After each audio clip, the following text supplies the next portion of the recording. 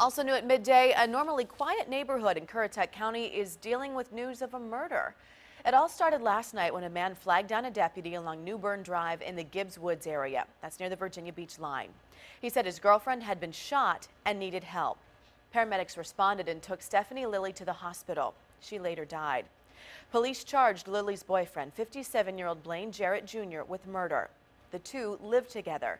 Now Jarrett is in the Currituck jail on a $2 million bond.